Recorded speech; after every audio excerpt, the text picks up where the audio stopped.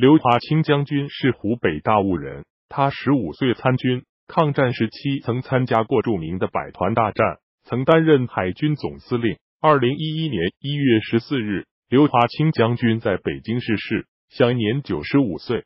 刘华清将军墓位于湖北大悟的吕王镇刘院村，将军魂归故里，墓地位于小山之上，有石阶通到山脚，登上山顶，墓地依山傍水，甚为壮观。墓碑由花岗岩雕制，上有将军雕像，下刻刘华清鎏金字体。墓地旁边的纪念碑浮雕意义非凡，象征将军生前为祖国航母事业做出的卓越贡献。墓地两边的石碑刻着将军的生平简介。